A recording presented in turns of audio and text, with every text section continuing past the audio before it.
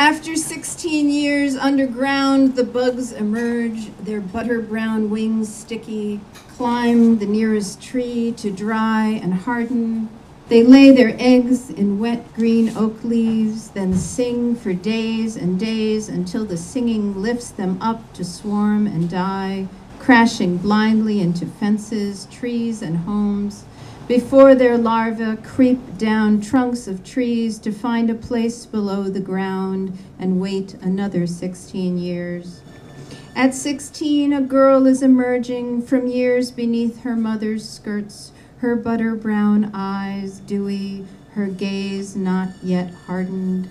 She lies down beneath the oak and weeps and weeps until the rain begins to fall, then runs inside the house her room door crashing shut.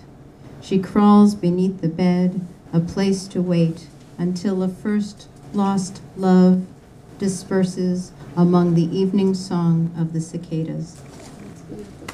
If you could just turn the